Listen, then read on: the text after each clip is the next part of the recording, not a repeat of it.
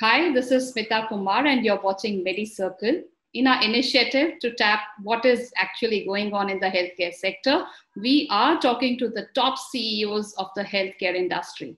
In this series, today we are speaking to Dr. Aloke Mullick, and uh, he is the group's uh, CEO of uh, Omni chain of hospitals. He has got a lot of uh, things apart from that. He's a healer, an advisor, he's a mentor, he's an IT evangelist, a spiritual trainer, a light worker, and a lifelong learner.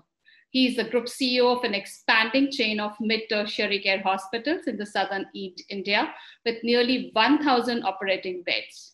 He has also come on board with mandate of stabilizing existing operations and facilitating growth in neighboring geographies. So hello, Dr. Aloke. Welcome to MediCircle. Good evening, Smita. So uh, to begin with, I would be having some quick questions and uh, let's find it out from you. Yeah, so, sure. Let's start.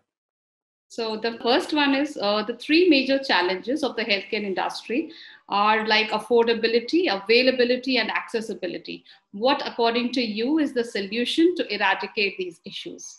Yeah, affordability is a big challenge.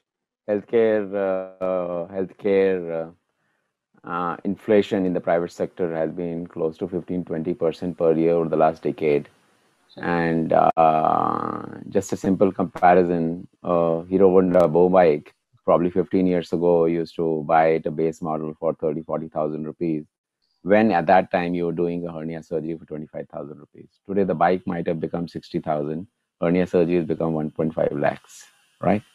So it's just everything's going through the roof. It's it's it's really weird. Uh, we used to always feel that india is a lowest cost destination of healthcare. It's exploded everywhere also but in india being uh, everybody being so price sensitive it doesn't work. When every every other industry has probably gone up in 10 years 100% you can't shouldn't have gone up 400% so that that that is that is troublesome. That is really troublesome. I hope accessibility is uh, is of course the new buzzword. And uh, i truly believe that the hospital which uh, owns the patient's mobile will own the patient's heart ultimately. Yes. And I refer to a beautiful book called The The Patient Will Now Call You. Um, today we consume all products and services on a mobile. You want to buy a shirt, you buy it on mobile. You want to get a plumber, you do it on a mobile. But you want to buy healthcare, you got to go stand in a queue even to register yourself. I mean that's ridiculous. That has to change and change is happening. Whoever changes fast will win the race definitely. Very so i think from accessibility purpose definitely perspective uh, patients would be looking for something like self registrations and even uh, online consultations which would be all driven through the mobile. Absolutely absolutely. Absolutely that's the future. And is very rapidly coming up in india. Yes. So we in our group are also very focused on that. Major initiatives coming that way. Okay to go totally paperless to to kind of expose every possible service that is exposable on the mobile to the patient. So he doesn't have to keep running to the hospital just to show a silly x-ray right to the doctor. Every you can he can consult on the mobile he can uh, mobile consultation itself can cut down your opd rush by 30% minimum. Yeah.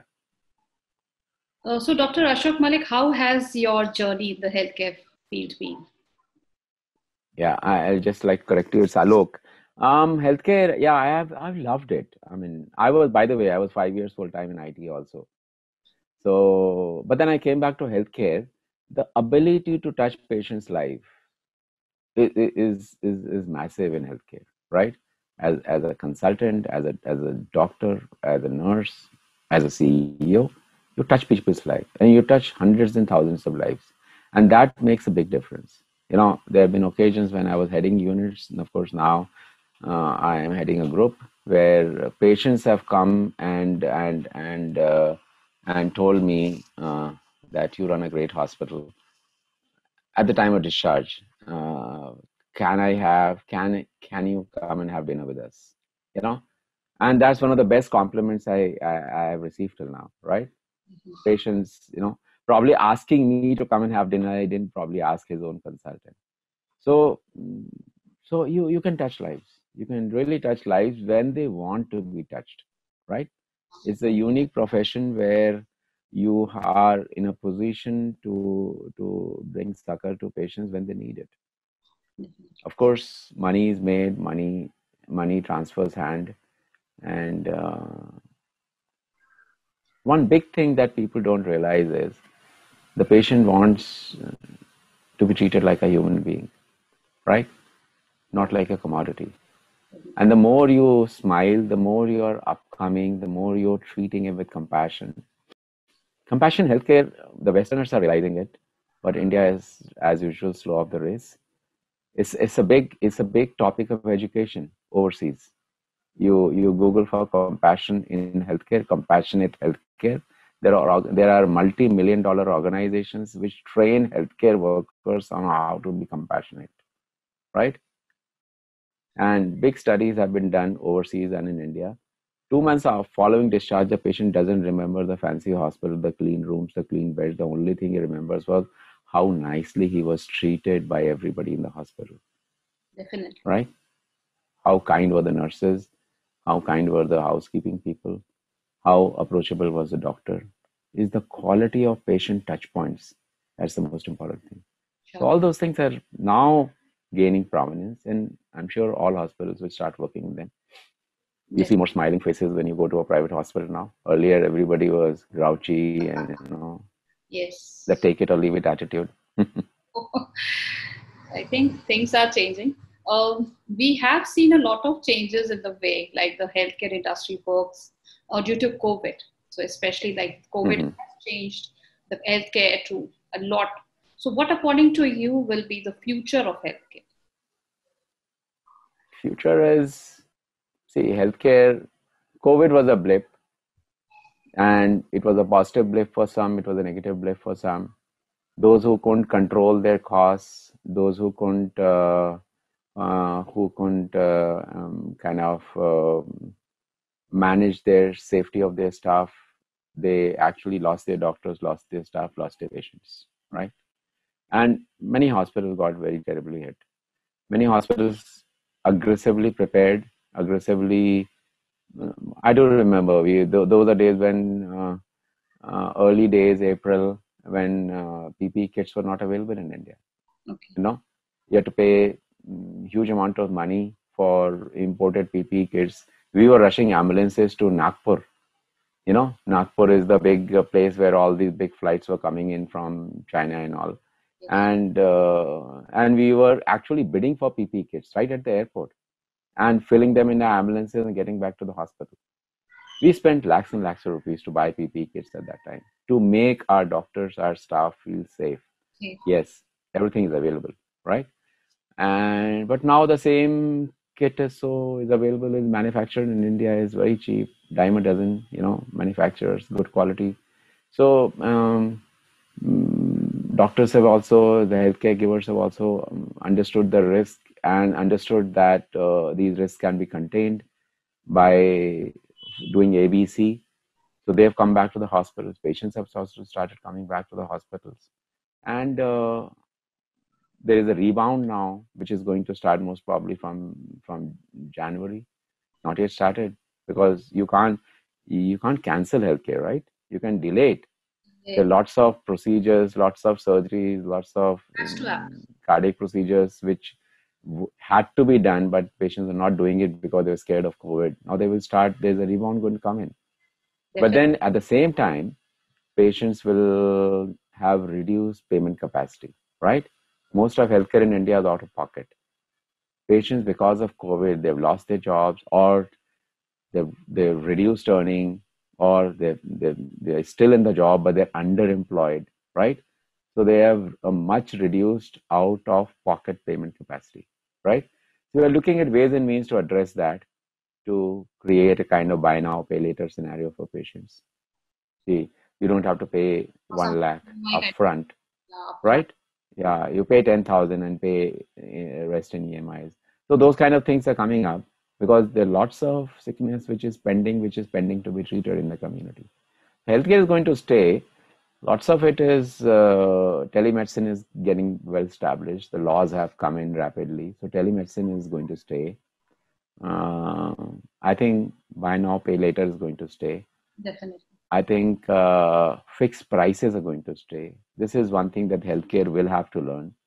Uh, patients do ask us when I go to buy a car and for a particular trim level, I need to pay this much amount of money. I know how much I got to pay. But yeah. when I come to buy healthcare, when the results are replicable, when your costs are replicable, why am I always worrying? I don't know bill kitna hoga. Sure. Except for a few things like you know angiography, angioplasty, you know, uh, joint replacement surgeries, few things. You know, there are fixed prices, there are packages. Everything is the hospital give an estimate X and ultimately final bill will be Y. The biggest worry of the patient is what will be my bill. Yes. You get it. So um, so we are all working. I'm sure other hospitals are also working. We have about 150 fixed price packages across across our, all our hospitals. Okay. We work on fixed prices now. Okay. Right. Other kind of things are coming in. You get a you get me an estimate from another hospital. I'll give you 20 percent of that. Everything healthcare is just you know so the patient will be king now. The hospitals have realized the grand old days of you you charge anything and it, it will it will work. That's going to end. That's going to end. So hospitals have also started looking at the cost. No hospital, it will be a rare hospital which has a cost accountant today. Right? So there's no cost benchmarking across a hospital or a group I mean, you any any one of the MBA programs in healthcare doesn't even teach you what are the cost benchmarks. But still, it has been implemented. Okay, because nobody worried about cost. Yes. Nobody worried about cost. Yes. Okay. So, but then those those have become integral to operations to start worrying about cost, to start trying to reduce cost.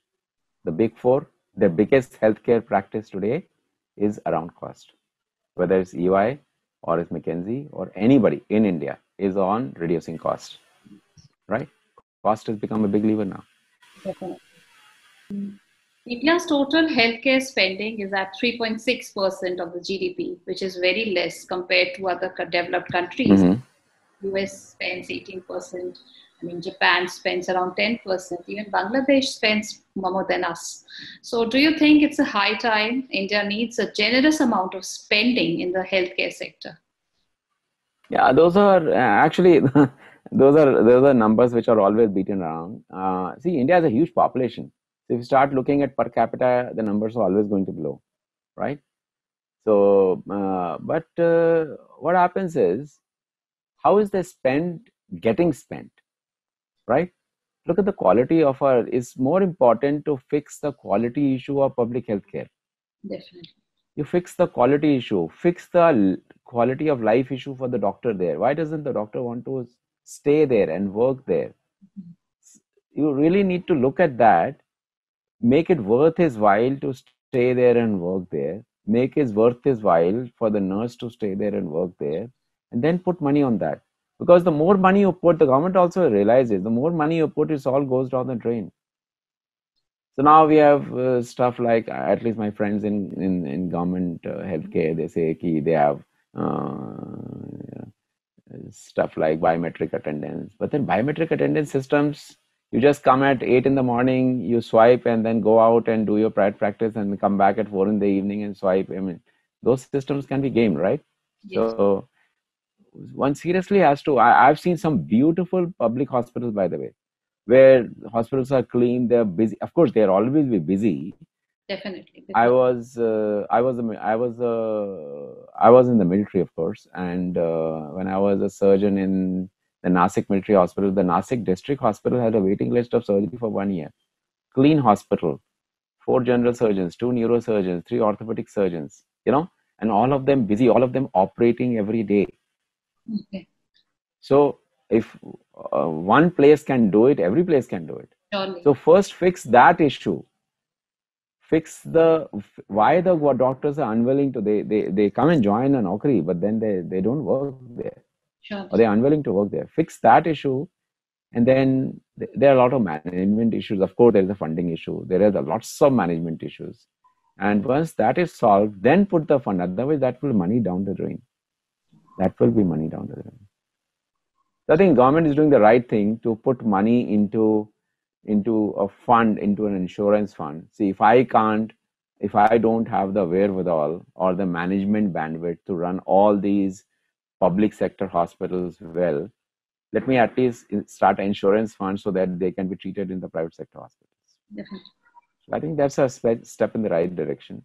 Yes. And uh, but then they, what they can do is they can they can set up every state should set up some kind of a center of excellence, management excellence for their district hospitals, and so that other districts can learn from this. Yeah. And then things will gradually change. As you said about this Nasik hospital, Nasik Public Hospital. It was wonderful. We used to, I mean, sometimes uh, we didn't have a neurosurgeon. We used to send the patients there. We always had a good experience there. Okay. Yeah. So I think if other places also follow the same protocol, definitely we can have better public health services, which we still don't imagine of because as those we still have great uh, primary health centers we still have great uh, district hospitals and th- those stories should be publicized and other hospitals need to come and learn from there other managers need to come and learn from there right is they they are, they're just poorly managed. That's nothing else. Most of the government healthcare facilities are poorly managed. Definitely. So if the management and everything is proper even the then you put money. yeah, absolutely. Then you put money. Yes. Rightly said. Very rightly said. So thank you so much, Dr. Mullick, for uh, I mean sharing your insightful views with us. I think we all know that uh, this empathy and uh, etiquette matters. It matters how you treat the patient, and the patient does not remember these clean beds and high-end machines. Rather, he remembers the approach of the I mean healthcare staff towards him or her. So I think we all need to work upon that important factor. That yes, very true treating the patients as human beings and not as commodities, as very, very rightly said by you. So I once again thank you so much. Thanks uh, you to thank you, Smita, sharing uh, your views with us and letting people know that there are public hospitals who are doing great. But yes, they, many don't know that. As you said, I told me I have visited Nasik so many times, but I didn't knew that there exists a yeah. Visit that hospital. It's a wonderful hospital. I'm, I, I hope it is still the same. I'm talking of ten years ago. Sure. It's a wonderful hospital. So if we have these role models and we can have these projects in each city, we won't be going for any private hospital ever because in only all developed countries, even in other parts of the world, it is more of the private public health. Which people have a choice. People have a choice. You know, even in a, place like Sing, a place like uh, uh, Jakarta, uh, uh, Indonesia, you have public hospitals which are crowded, but they're clean. They're well managed. So the poor go there and the affording people they come to the private hospital. I was the country ceo of Mayapada hospital there in indonesia. And so the rich people used to come to us. We had uh, fabulous hospitals seven star hospitals oh. right? And of course the poor people used to go to the local public hospital which was clean well managed but crowded. So it's fine. I mean you you, you you're, you're getting it free. You stand in a queue. But at least you don't have to look at filth and and absolutely dirty unmanaged hospitals where you know as we say some of our public hospitals are so filthy. Sure. how much does it take to get a place cleaned up right? It's just poor shoddy management nothing else. Definitely. And the best part which you said that it is not only for the patients but also for the doctors and the people who are actually healthcare exactly. They are unwilling to come and work there. Yes because it's and the, the government is paying them salaries yes. right yes definitely. All that 4% of the budget that you're saying or 3.6% lots of it is going in salaries. Yes it is. So once again thank you thank you thank you dr Mullick. Thanks for joining. thank joining. you ma'am